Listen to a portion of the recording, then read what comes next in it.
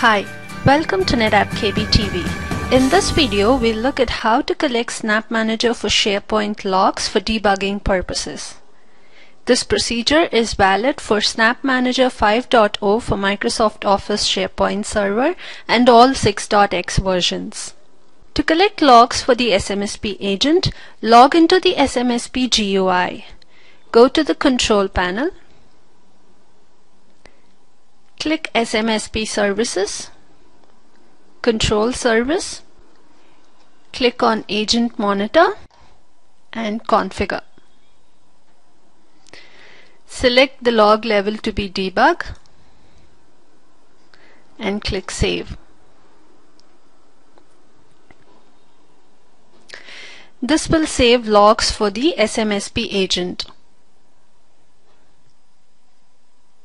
Click OK. To collect debug logs from the SMSP Manager, click Reporting under the Control panel. Click Log Manager. And under the log level settings, select the servers for each of the services and select the debug level. Click Apply.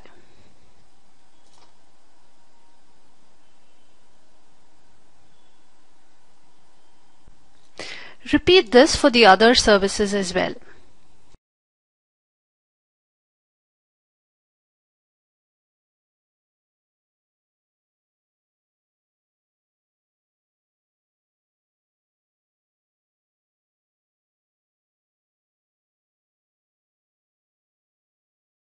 If there is a backup or restore issue and you need to collect the job logs, the manager and agent server logs, then look under the Log Manager tab here.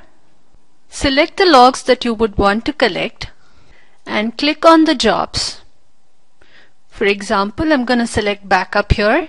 Scroll down and select apply. Notice that the number here would change to the number of reports you have selected. Click Download to get a copy of the logs. For SMMOSS 5.0, the job report is located under Job Monitor. Click Save to save it to your local system. Do log into NetApp KBTV for more technical videos. Thank you.